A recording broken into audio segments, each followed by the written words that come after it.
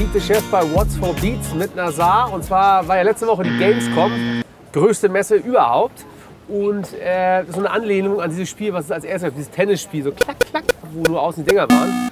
Nazar und ich werden jetzt hier mit Kochlöffeln bewaffnet oder Pfannenwender.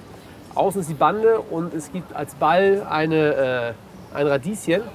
Es geht darum, wer zuerst fünf Tore macht, der hat das Ding gewonnen. Und es geht um Ruhm und Ehre, mein Freund. ganz gefährlich. Ja, ja. Gut, dann So. her. Okay. Ja, zack.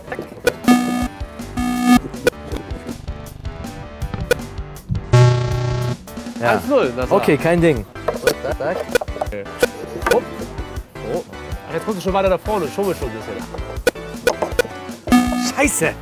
Pony Polster mäßig. So, Triple packen wir heute. pass auf. Guck mal, guck mal genau hin. Yep. Okay, bisschen Vorsprung muss sein. Ja, kein Ding. 2-1. Du hast die Technik schon draußen. wa? Hier, so- so angeschnitten, weißt du wa? Manni Kaltmäßig, weißt du?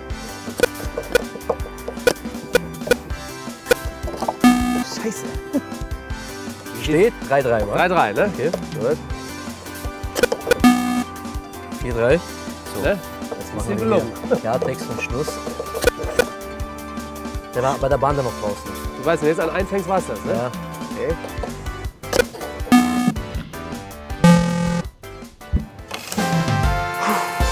Beat the Chef mit Nazar.